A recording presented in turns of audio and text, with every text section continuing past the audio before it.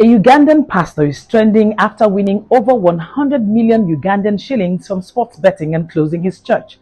According to the report, the said pastor confessed that he has been struggling to make ends meet through the collection of tithe. The pastor admitted that he opened his church due to greed, as he saw how several pastors make money through the crowds they have and making fake prophecies to attract more. The reality that dawned on him prompted him to seek alternative means of making money so he sacrificed the 1 million shillings he had to pay for online betting games. He surprisingly got an order of 700 which earned him 10 million shillings. On why he stopped the church, he says the winning is God sent. He has got many ways of making money until now. He had made a lot that he never imagined he would ever get in his life.